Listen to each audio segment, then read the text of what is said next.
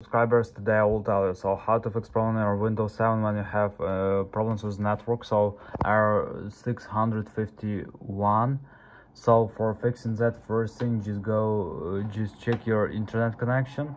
So also try methods like rest reddit and something like this one.